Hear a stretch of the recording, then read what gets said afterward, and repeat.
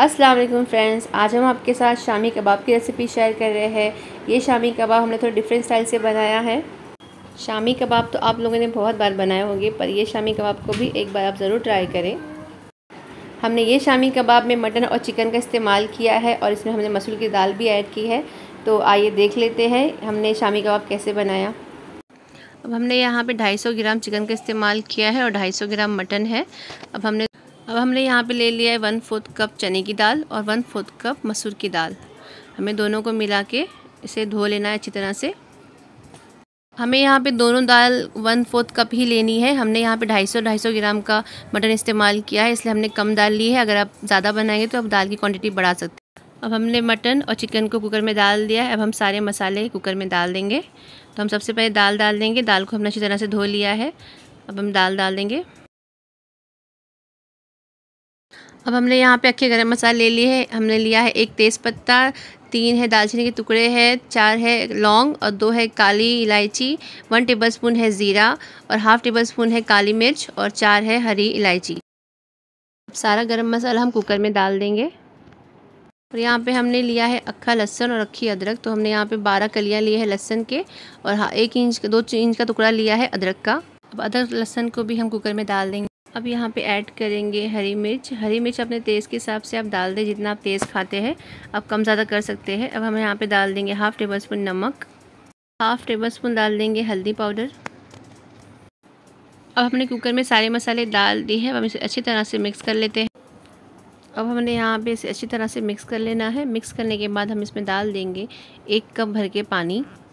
अब हमें इसमें पानी डाल के इसे कुकर को बंद कर देना है और इसे हमें गलने रखने का है। तीन से चार सीटी के बाद हम गैस बंद कर देंगे। अब यहाँ पे चार सीटी हो गई है। चिकन और मटन अच्छी तरह से गल गया है। दाल भी अच्छी तरह से गल गई है। लेकिन थोड़ा इसमें पानी है तो हम इसे थोड़ा सा और ड्राई कर लेंगे। इसको हम थोड़ा और पाँच मिनट को रखते हैं गैस पे तो इसका जो पानी है अच्छी तरह से ड्राई करने के लिए। अब यहाँ पे देखिए पाँच मिनट हो गया था तो हमने इसे कुकर से निकाल के प्लेट में रख दिया था ठंडा होने के लिए। अब यहाँ पे जो मटन है वो ठंडा हो गया है।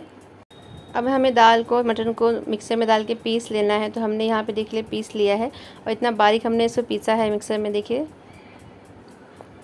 अब पीसने के बाद ये बहुत सॉफ्ट हो गया है तो हम इसे इसमें ऐड करेंगे हरा धनिया। हमने यहाँ पे एक कप हरा धनिया लिया है।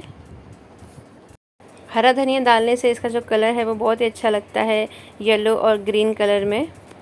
अब यहाँ पे ऐड करेंगे वन टेबल स्पून कस्तूरी मेथी। कस्तूरी मेथी को हमने थोड़ा सा तवे पे रोस्ट कर लिया था, उसे हाथ से मैश करके इसमें ऐड किया है। हमने यहाँ पे सारे बैटर को अच्छी तरह से मिक्स कर लिया है तो हम कबाब बनाना स्टार्ट करते हैं। हमने यहाँ पे हथेली में थोड़ा सा पेड़ा लिया है, इसे इस तरह से घुमाते हैं और इसे इस तरह से प्रेस करके बनाते जाएँगे। शामी कबाब बनाने के लिए कोई मेहनत नहीं लगती, बस हल्के हाथ से इसे गोल गोल करना है और कबाब रेडी है। अब इसी तरह से हम सारे कबाब बना के रेडी कर लेंगे।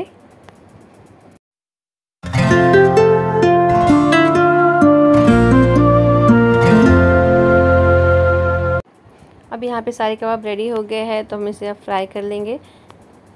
आधा किलो मटन में यहाँ पे अठारह कबाब बने थे। अब कबाब फ्राई करने के लिए हमने यहाँ पे ले लिया है एक कप कुकिंग ऑयल हमें इसे शेलो फ्राई करना है डीप फ्राई नहीं करना है। अब यहाँ पे हमने दो अंडे ले लिए थे अंडे में हमने डाल दिए वन पिंच नमक और वन पिंच काली मिर्च और इसे अच्छी तरह से मिक्स कर लिया है।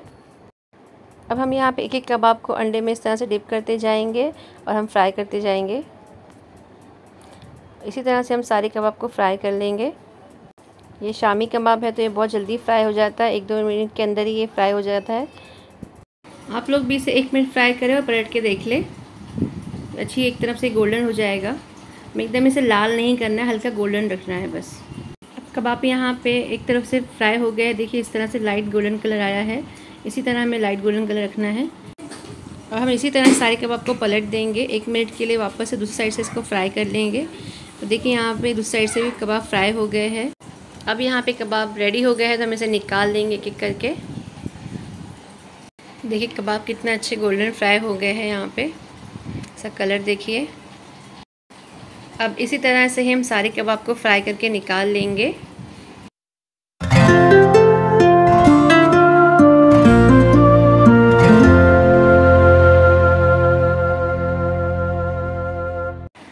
अब यहाँ पे सारे कबाब फ्राई करके हमने निकाल दिए हैं। सारे कबाब रेडी हो गए हैं। अब हम इसे सर्व करते हैं। अभी यहाँ पे हमने कबाब को सर्व कर दिया है हरी चटनी के साथ। ये हरी चटनी में हमने हरे धनिया और पुदीने की पत्ती डाल के इसे पीस लिया था और हमने यहाँ पे प्याज के साथ सर्व किया है। ऊपर से हरा धनिया डाल देंगे और इसे गर्मा गर्म सर्व करेंगे। अब यहाँ पे आप देख सकते हैं कबाब जो है वो कितने सॉफ्ट बने हैं। इस कबाब को आप हरी चटनी के साथ सर्व करिए, हरी चटनी के साथ बहुत ही मज़ेदार लगते हैं। तो उम्मीद है आपको हमारी ये रेसिपी ज़रूर पसंद आएगी। पसंद आती है तो हमारे चैनल को लाइक करें शेयर करें और सब्सक्राइब करना ना भूलें। इंस्टाग्राम पे फॉलो करें। इंस्टाग्राम की आईडी आपको डिस्क्रिप्शन बॉक्स में मिल जाएगी। और रमज़ान के लिए हम ऐसी अच्छी अच्छी रेसिपी आपके साथ शेयर करते रहेंगे। तो अपना ख्याल रखिए, दुआ में याद रखिए। मिलते हैं अगले वीडियो में। अस्सलाम वालेकुम।